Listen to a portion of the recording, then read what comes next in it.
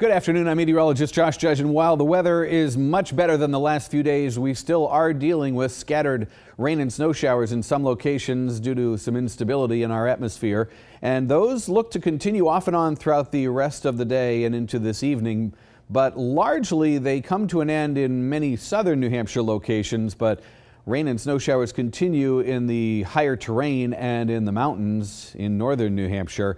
As we go through the night and into tomorrow, improvement begins to take hold just a little bit with partly sunny skies expected for everywhere south of the White Mountains and snow showers possible in the mountains. And then our next weather system all set to move in for Thursday. And here's your next chance of showers. Mixed rain and snow showers to begin with, and then gradually changing over to more and more places with rain. Rain showers off and on right through most of the day on Thursday, and then a few more possible on Friday. So the shower chances do continue for the next several days, but it does look like there's some improvement on the way by the weekend.